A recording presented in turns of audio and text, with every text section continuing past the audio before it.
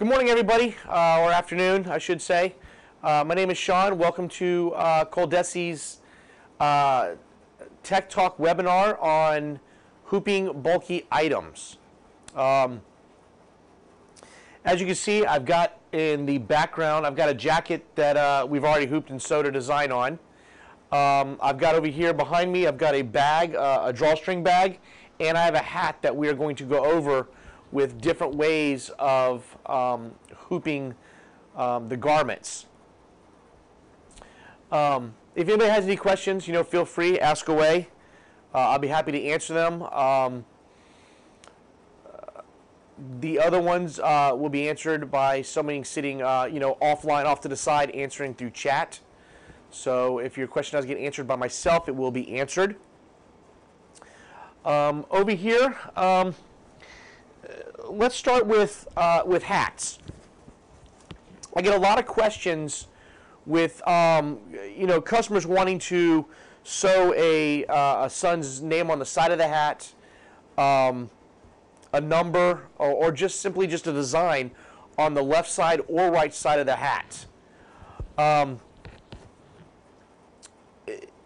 I wouldn't try hooping the device or hooping the hat in a in a hoop due to the fact that you know no matter what hoop you're using when you're hooping what happens is you've got the bill in your way so you can't hoop all the way to the far right. You pretty much limit your area towards the back of the uh, back of the cap and when you're back here you're no you're now no longer on the side of the cap. You are three quarters of the way towards the back of the head. So you're not really getting that centering of the design on that, uh, that panel here on the side.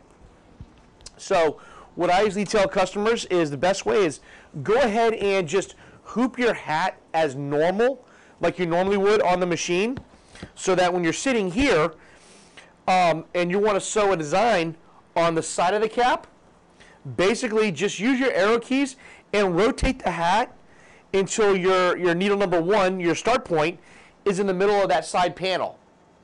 That's where your start point will be. So then you set your start point, trace your design right here, press start, it'll show the design on the side of the cap. So if you buy a cap at the store that's got, you know, a TB logo on the front and you want to put your name and personalize it on the side or put a number, hoop the hat the way you normally would on the on the machine. And then when you have it there, just rotate it to which, whichever side you're sewing on. That needle number one will be in the center on that one side of the panel and then set your start point, trace it, and then sew on the side of the cap.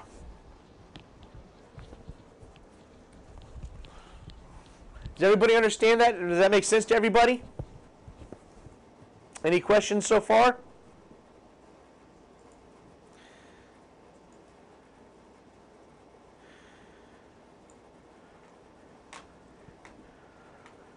Yes, um, to hoop the hat to do the puff. Same way, just hoop your hat normal. And when you put it on the machine, um, your, uh, your design usually, for example, when doing puff, which I have a puff design right here, I'll show you. We have the TB logo, which is a raised puff look. And basically what it will do first is it will do the dark blue, which is the outside backdrop so when programming your design into the machine, um, you're going to incorporate a color stop so that the machine can stop uh, and allow you the time to, to place your foam down before you press start and actually tack the foam down. So when putting on the machine, you're going to hoop the hat as normal, uh, but on the machine, you'll incorporate a color stop. Does anybody know how to incorporate a color stop on the embroidery machine, on the Avance?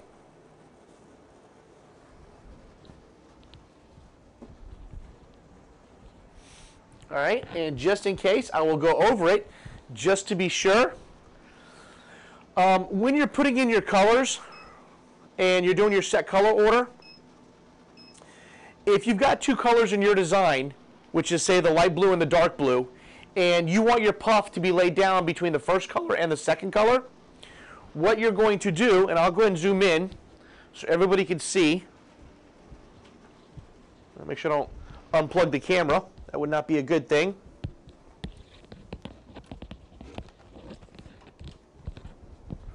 All right, here we go. Everybody still with me? All right, on the control panel, as you can see, let me get so it's in focus. We've got two colors, which is color number one and color number two. Does everybody see that little blue uh, highlighter going back and forth? So our first color of our design is four, which will be the backdrop or the shadow of the design. Our next color is going to be two, which is what we're doing the puff with. So what we're going to do here is we want the machine to stop between colors one and color two. So on color number one is you're going to hit the, the, the button with the double arrow sitting right here in the middle of the control panel. What that will do is it will add a red box. I don't know if you can see the red box, kind of like a dark square right now on camera, but it's a red box behind color number one. What that will indicate is the design will sew that color first, then stop. Allow you to lay down the foam, press start, it'll move over to color number two and finish your design out. So that's how you would incorporate a color stop on the embroidery machine when you are doing the puff designs. So, but when hooping for puff, just go ahead and hoop your, uh, your, your garment normal. There is no different when doing that. So now let's move to what size the best for the hat lettering.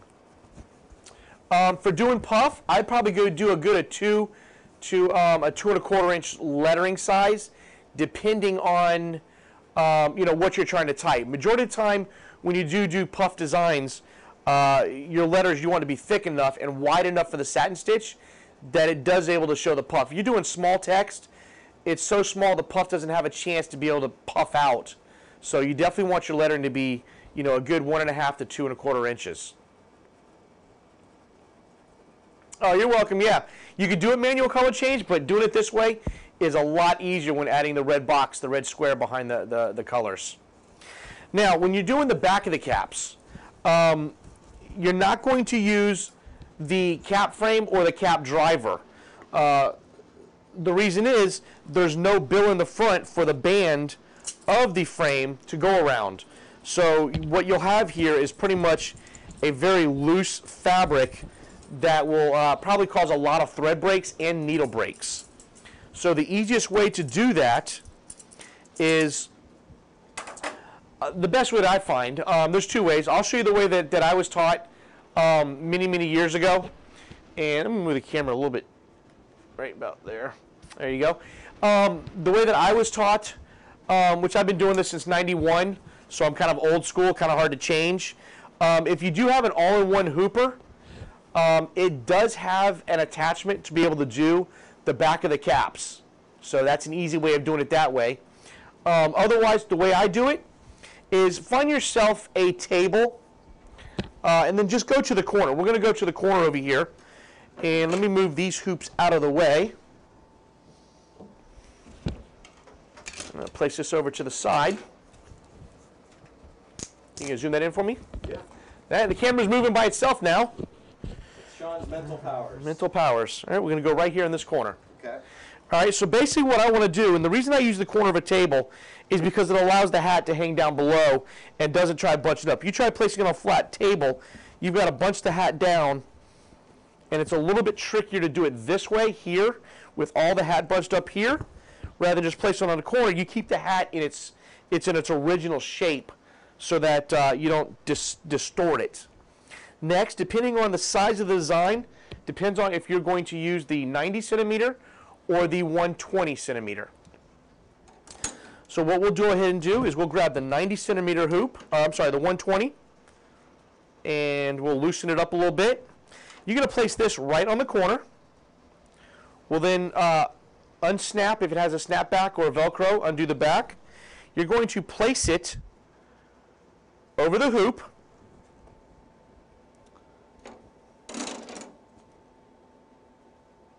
And then grab our other in south side hoop. Try to keep the seam in the middle. Try to keep it level. And you can kind of measure it up with the sides of the, uh, the straight, uh, straight edges of the frame. We'll go ahead and, and do that and tighten the hoop up.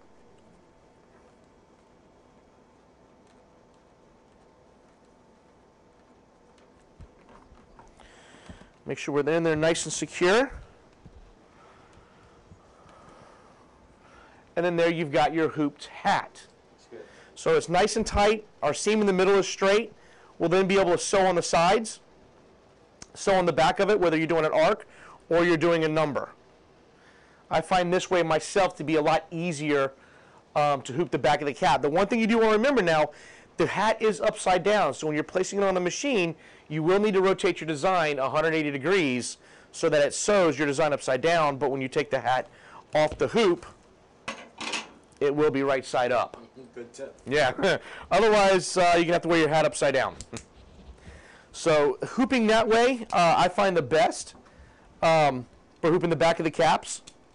Are there any questions so far on uh, the back side of the caps? How to hoop it?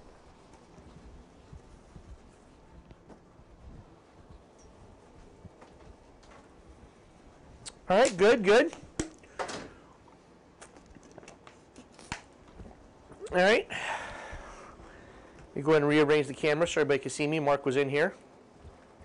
Uh, see, we got a question right here. It's, um, see, do you find you need to use stabilizer on the caps? Um, I usually always do um, at least one piece of tearaway backing. Um, as you can see with this with this cap here, I mean it's a nice, thick, sturdy material. Um, you know, I usually only use the backing to help stabilize uh, this fabric from being able to move inside the hoop.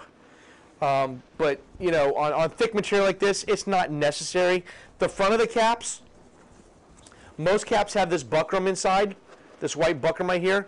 That also serves as a backing, so uh, you can use it with or without a backing. Um, me personally, I've always done it. I still use a one-piece tearaway backing. Um, and that's just so that when you hoop the garment, it holds the fabric stationary and gives it something to grab onto when starting to sew. All right. The next uh, object we have here is I have this drawstring. Uh, it's kind of like a drawstring sweatshirt bag. So you see, it kind of took the front of a sweatshirt with the pocket, cut it off, sewed pieces together, and actually made a drawstring little cute little bag. We had done this uh, at our open house this past weekend. Um, these right here are spangles. This is done from our Spangle, our Pro Spangle machine. Uh, Got to support our local team. And so the back of the, of the bag, um, and you can do this with either you know bags, duffel bags, suitcases, um, backpacks. Um, the biggest thing you want to remember is the opening in the front of the bag that you have to be able to sew, because this opening goes around the neck of the embroidery machine and with the garment hooped, you have to be able to make sure that this can move left or right, forward and backward, without being yanked out of the hoop. Um, you know, for example, if we're trying to sew here on this pocket, which is very small in the front, you can see it's got a very small opening on the side. You can get a hoop in here, but now your area right here is very limited to the size of the design that you can sew on because you've got to be able to fit this over the neck, still in the hoop, and have it move left or right without it popping out of the hoop. So I know everybody always says, you know, and we always say here, if you can hoop it, you can sew it. You still have some limitations on the on the areas. For example, on pockets on shirts, same thing. You can hoop the pocket, but that pocket's got to be able to fit around the neck of the uh, of the machine, and it's got to be able to move left and right so that while it's sewing, it doesn't put too much strain in to rip the shirt or it rips the, uh, the shirt out of the hoop. So for something like this, um, you, you know, you've got two options. We can use a regular size hoop, which this is, I think, the uh, 15 centimeter hoop. Depends on what you're sewing. Um, if we look at the 12 by 12 size jacket back hat we have here, this is going to stretch it pretty much to the limit. This would be the largest one that you'd be able to fit in this bag. Now in doing that, you're putting it to the max limit, so now you've got the hoop to the outside edges, and it's going to push this way. So while it, whoops, so while it pushing out this way, you're stretching the opening area. So what I usually do is once I hoop a garment and I put it on the machine, just to make sure I've got enough sewing field, I will go ahead and use my arrow keys on the control panel, and I will move my frame all the way to the left of the hoop and all the way to the right of the hoop to make sure it's not putting too much stress on the garment and it's not going to pull the, the, the garment off the hoop Because that's one that's one thing you definitely don't want to do is start sewing and then all of a sudden have your shirt pop out of your hoop or have a bag pop out. The other thing that um, you also want to pay attention to is if you're sewing on, um, you know, like a, a, suitcase. the suitcase, most likely you can unzip it and then you've got it hanging down. Well, when you've got these arms putting too much stress, they tend to bend down. So for a suitcase or a duffel bag or a backpack that's got to be weighed down, you definitely want to put the table on the machine. And my table is not in here. It must be out in our training room because we do have a training today on the Avance. Um, so you want to put the table on. That'll help these arms ride nice and smooth on the table. And the other thing is maybe get like a chair or um, a bar stool or something and set in front of the machine to rest the uh, the suitcase on the duffel bag because otherwise even though you've got the table on it's still going to put a lot of strain on here and it's going to want to pull it this way off the machine so you want to be able to support that weight and have it just basically sitting up here and not putting too much strain on the machine trying to sew wanting to pull the, the garment off the hoop so get yourself like a table a little bench um, a workstation, put it in front, let your suitcase um, rest on there. Same thing if you're sewing on blankets or quilts. Those are very heavy, those are very, very big and bulky.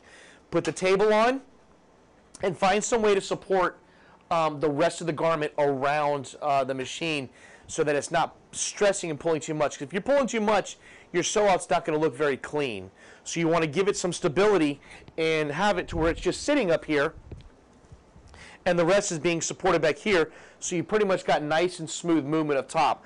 Otherwise, if it's heavy enough, it is pulling this way, stretching this, so that while the machine's trying to move one direction, the weight of the garment or the, the, the bag or the suitcase is pulling the other direction. It's going to make your sew out look kind of funny and possibly might break some needles. So you do want to support it.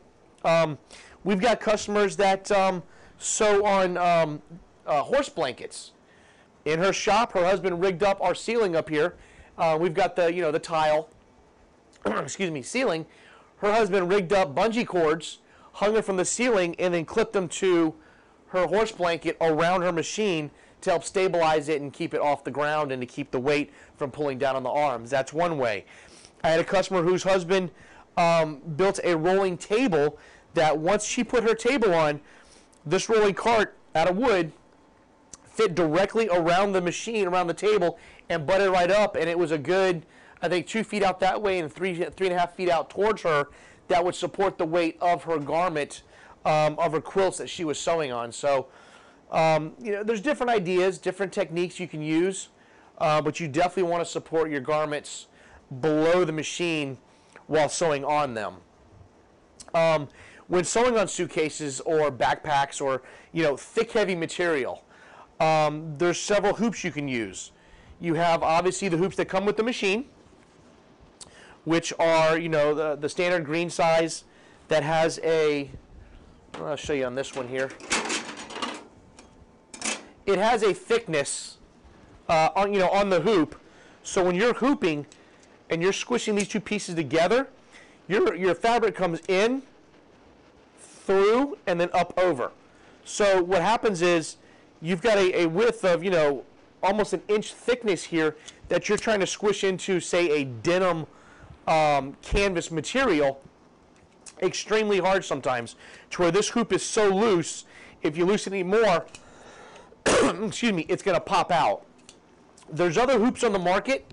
Um, one of the good ones that you can use is uh, it's called the all-in-one. It's called the seven-in-one, and it's basically a clamping system um, you know, if you if you purchase it, you tell them that you you know you're using it for the Avance machine, and they'll get you the right uh, right attachments. Uh, but it snaps into here on your arms. Your arms might be a little bit wider out, and then basically you have a bottom piece that sits here, and then you uh, lay sticky backing on the back of your your hoop, and then just basically lay your garments uh, on top of this, and it adheres to the stickiness of the sticky backing and then you sew that way. So there's really no clamping part of it. There's no hooping part of that part. And it's, uh, it's called um, a clamping system. Uh, not clamping system, I'm sorry, that's the other one we're going to talk about. It is a 7-in-1 uh, uh, hoop. Um, they're called fast frames. Um, I'm pretty sure it's fastframes.com, and uh, they've got different size hoops, different size uh, uh, for different machines. Just uh, go ahead and let them know what machine you have, and they'll get you the right equipment. Um, the other one that, that, that's out there is called a clamping system, and it, it plugs into your machine, plugs into your machine here, and it's more of a like a clam. It sits up like this. You lay your garment on top, you put your backing, and then you pull the lever and it clamps down, clamping your, your garment nice and snug. The underside of both sides of the hoops is kind of like a rough, rigid material. Um, it won't damage your material unless you're sewing on like, you know, ladies' blouses or, or you know, dry fit shirts. But if you're doing that, you're definitely going to use a regular hoop or you're going to use the 7 in 1. Uh, the clamping system is, is the same thing is you're not hooping with, um, you know, a, a, a hoop height it clamps it down and holds it nice and flat, so it's a lot easier. A lot of people use the clamping system um, when they're doing like dog collars, karate belts, because they're not trying to have a hoop where it's going this way, then up through the hoop and then out. It's really hard to hoop that way. So you get the clamping system, it clamps it down, holds it nice and sturdy. They sew their names, uh, their sensei's names on there, and uh, easier to do that way. Are there any questions so far on the types of hoops or uh, questions, uh, you know, things we've gone over so far on the bags or, or heavy material.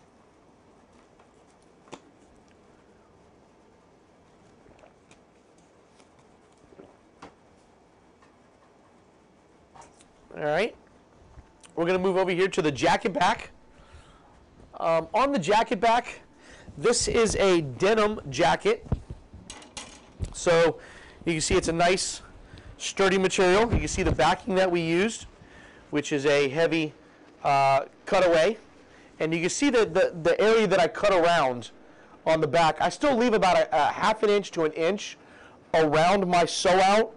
The reason I do that is if you were to cut your design, your, your backing, just to the edge right here of your sew out, really nice and close, what happens is the front is going to try to um, go back to its original shape, original um, form, and it's going to go as far back until it meets the, the backing or the sew out.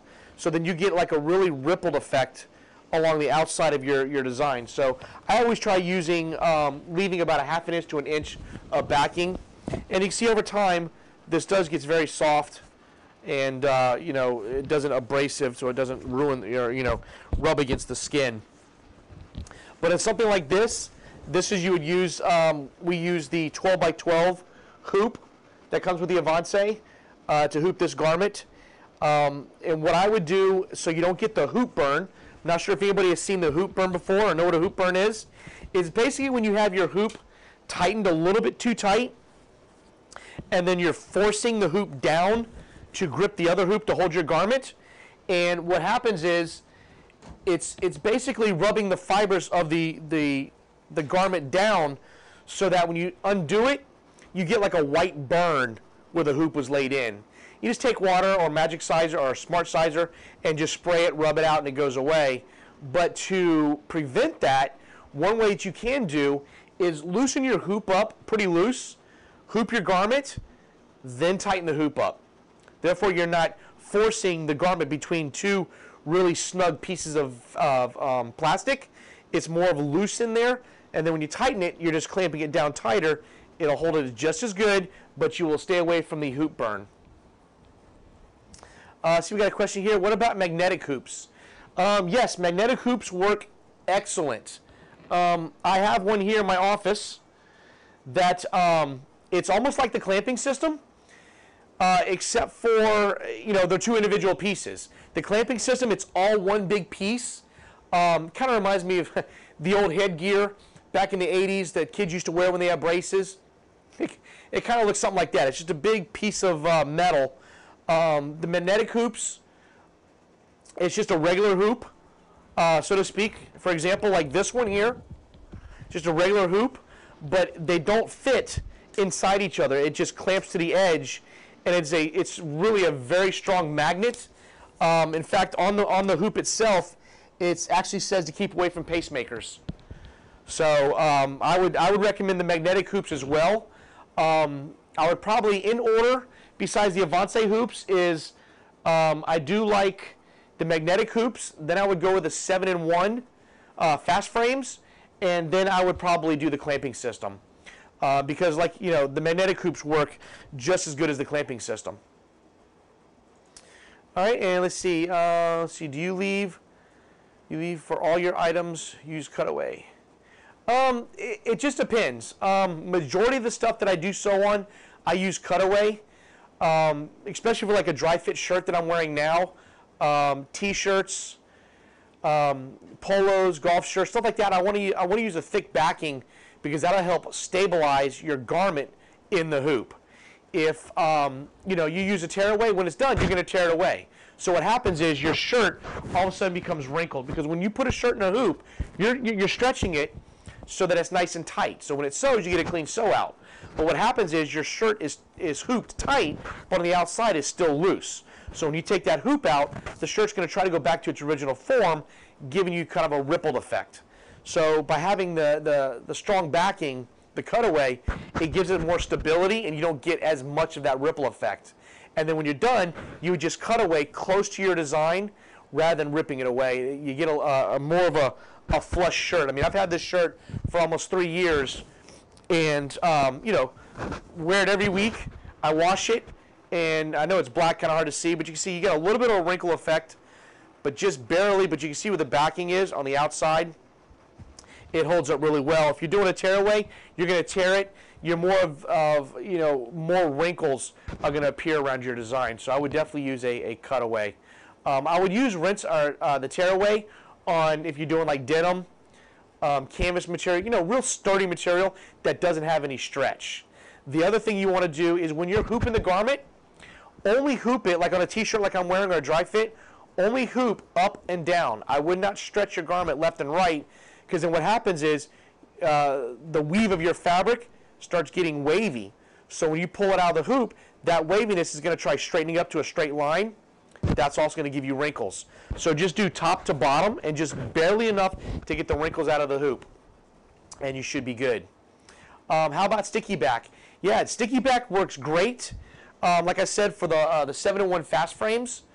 Um, I haven't really used it for the regular hoops or a mighty hoop or the clamping system. Um, it's really used for the 7-in-1 fast frames due to the fact that there's no two pieces to actually hold your garment your garment is actually held on by that sticky backing in the 7-in-1 fast frames. Uh, the mesh backing for polos dry fit shirts, uh, it's a good question. Yes, definitely. Definitely I recommend using the mesh uh, backing, and I don't think I have any in here. It is very scarce. But uh, what it is, it is a, uh, you know, like, like, like she said, it's a mesh backing that um, is very, whoops, I locked the, locked the door, is very soft. Um, that's a very heavy cutaway, but it's a very soft backing. Um, I would definitely, what I would do is like if you have your shirt down and then you've got like say a, a light cutaway and then put the, the mesh backing on, on the, the, the hoop. So while it's sewing, your mesh backing is the last piece out here. So when you're done, you take it out, you trim it up around the customer's garment, you've actually got the mesh backing that is going to be against the customer's skin. Um, I would recommend using that also for babies, baby onesies, baby shirts, toddlers, because you don't want the harsh uh, cutaway backing or even a tearaway to rub up against the skin because of uh, you could have some some babies with allergies, uh, sensitive skins, and you don't want it to irritate it. So I would use the mesh backing. Um, it, it's it's nice. It's, uh, it's soft, and especially after you wash it one time, it's very soft against the skin, so it doesn't give you the, uh, the, the abrasive roughness of a cutaway. Uh, meltaway, that is almost like, um, pretty much, it's almost like Topsolvy, uh, to where Topsolvy is a, a like a, uh, like wax paper, very soft wax paper with a gluey substance that when it you lay it on top of garments to help stabilize top stitches, um, you lay it or you hoop it with um, terry cloth towels that are very very coarse. You put that on top so that when you sew, it helps hold the stitches to the garment, and then when it's done, just rip away the excess. Take a damp cloth, damp washcloth, damp on the the stuff left, and it just disappears. But with the gluey substance it has in its in its fibers, it kind of helps hold your stitching down and, and holds everything together. Um, that is called rinse away or top solvy. The melt away would be the very very similar to the same thing um, for the back of the garments to where it, when it's done, um, you know, when you heat it up, it just melts away, but it kind of like glues your stitches to your backing, so it helps stabilize it that way. Uh, let's see. How do you measure the size of the hoop? What is the type of hoops that the Avance uses? Ah, it's a good question. The, the, way you measure it, um, our Avances, some of them are labeled, um, which we have labels here. You can see that's a 15. What that means is that's a 15 centimeter hoop. So the way you measure the 15 centimeter is it is from edge to edge. So with this one here, we've now got a 12 centimeter hoop, which is from edge to edge, to edge side to side. The uh, 15 centimeter is also 150 millimeters, or it is six inches. So that's several ways you can tell. Um, a good way is, is the, the hoops that come with the Avance is you get a um, you get 190 centimeter hoop, which is roughly three and a half inches. This is good for um, let me get in the camera here. Cuffs, the sides of shirts, um, the collars, back of hats, um, you know, small areas, uh, the tops of pockets. This is good for. Your next size you get with the Avance is the uh, 12 centimeter or the 120 or the 5 inch hoop, which is this one. This is the one that's mostly used for a lot of your left chest logos because uh, most of your left chest logos are right around 3 inches. The next size that comes with the Avance is the 15 centimeter, and I'm just tightening up the hoops so they don't fall off, is the 15 centimeter, which is like I said before, it's almost six inches. Next, you get the 21 centimeter hoop, which is here. This is uh, good for um, center, center chest logos, baby onesies, um, toddler shirts, because it's a nice size. You get a lot of design in here. Our next size you get is you get the 12 by 12, or what is known as the 300 by 300 hoop size. And then all the hoops that I've sewn, which is the 90, uh, the 120, the 150, and uh, the 21 centimeter, and this 12 by 12, you get two of each of those hoops. So while one is sewing, you're hooping your next uh, garment, so it's uh, you know one to sew, one to go. The other hoop that you do get with the Avance is uh, one of the largest ones in the in the industry. It is a 21 inch by 14 inch sewing hoop. You only get one of these. These would be good for you know the horse blankets, the quilts, uh, terry cloth towels, banners. Um, you know, if you're doing uh, patchwork, this hoop you just you just put this hoop on. You you do multiple copies of your patches, take them out, cut them out. Now you've got you know 20 patches out of one hooping. So you get one of those, and you get two of the others. You get uh, two of the cap frames. Uh, so while one's sewing, you've got one uh, that you're ready to go and those are the ones that come with the Avance. Um, see, what size is hat hoop to design a pattern high width? Um, on, the, on the, cap frames that we have here for Avance, you can sew anywhere from, I've gotten up to three inches tall uh, to sew on a hat. The other thing you want to pay attention to is on your hats, it all depends on if it's constructional or unconstructional, or how high your, uh, your, your, your cap is. If you've got a lower cap, your design straw is going to be a lot smaller. You got a higher one, you've got a higher chance of, uh, you got a larger area sewing field. So for this cap here, you could probably get a good two and a half, 2.65 inches tall. Um, the smaller ones you could sew on bucket caps, you could sew on visors, uh, but your sewing field will be a lot smaller. Uh, are there any questions so far of what we've gone over with uh, the different hoops, the hoop sizes, the different style hoops. Um, any questions anybody has?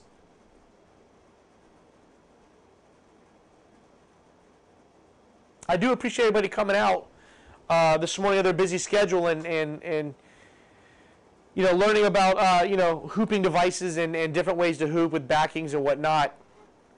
Um, all right, no more questions. All right. Oh, here we go. Got one more. Let's see. Uh, you have sewn quilted bags and have trouble with the hoops holding. Um, the quilted bags, that's where you'd probably want to go to either the um, the Mighty Hoops um, would be a good one to go to for the quilted bags. Um, and if you go to mightyhoops.com, they got different sizes. They've got jacket backs, left chest ones, smaller ones, um, you know, full front uh, size hoops. Those are the ones I probably use for a quilting bag. The, and believe me, the magnet is extremely strong. It will definitely hold uh, a quilting bag. Um, when I first saw one at a trade show, the demonstrator actually had um, a jacket, and he basically had the inside hoop on top, and then he just threw it on the floor, threw the top hoop on, and it just it clamped down and it held it. It's it's um, it's a pinch hazard. I will tell you that. I've been pinched before when it when it clamps down and, and gets tight. So for uh, for your quilted bags, I would probably recommend doing a uh, mighty hoop to get you more uh, more stability because with the quilted bags, obviously, you know your bag's got to go up through the hoop and then out, so your your holding is not very snug. You've got to basically loosen your hoops all the way up, hoop it, tighten it, and then you know hope it does not pop out. Carhartt jackets, yes. Um, those are really thick materials. The Mighty Hoops would be the best one for those. Um, you could try one of the the green hoops, um, but it's a thick material. I would stand there and watch it, um, you know, while it sews because you definitely do not want it to pop out when doing a Carhartt jacket. I would definitely recommend going to a Mighty Hoop for that one. All right, any more questions for the night, for the day? Sorry, lost time. I, I, do appreciate everybody coming out and uh, joining me today to go over uh, some of the hooping devices. Good questions. I appreciate the questions. We're here for you. Um, you know, we want to, you know, make you better at what you do and, and, you know, answer everything that we possibly can to help you out. Saves from putting in a support call and, and it gets us interactive this way because there's some questions you might ask that somebody else didn't know or didn't think of to ask and vice versa. So we're all out here to help everybody. And, and I want to thank everybody for coming out. Thank you. And hope everybody has a, a good Wednesday. And uh, we'll definitely see you uh, on the next time. And don't forget, this Friday is uh, Tech Talk um, that we do from 10 to 11, and it will be on the Sierra software. So feel free to, to log you know log on and, and sign up for that one. And uh, I'll be doing that one, so I'll see everybody on Friday. All right, everybody have a good day. We'll see you again.